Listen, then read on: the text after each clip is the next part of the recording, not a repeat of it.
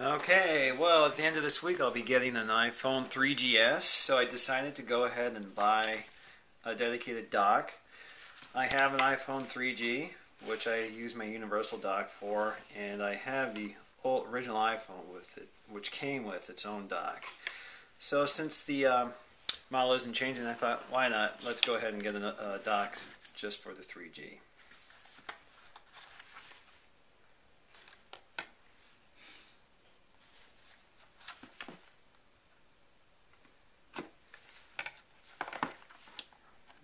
Sharper knife for this.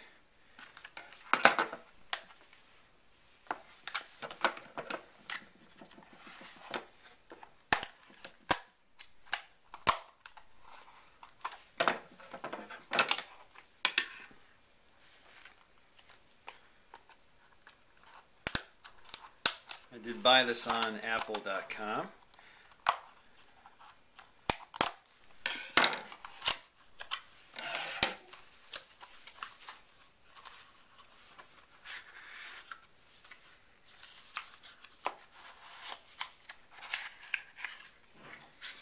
There's the dock.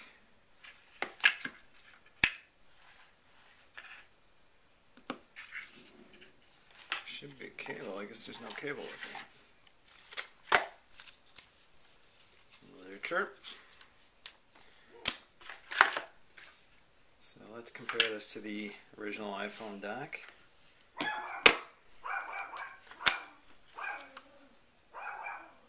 Very different shape.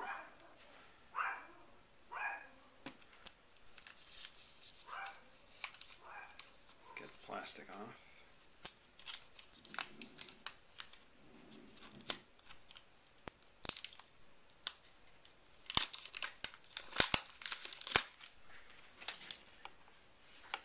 Connect it. Let's get the 3G iPhone. Fits perfectly. I also bought some universal dock adapters.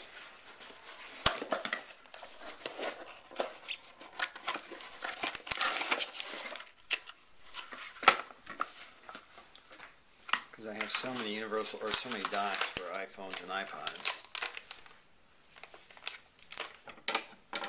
Well, I'm not going to take them out right now, but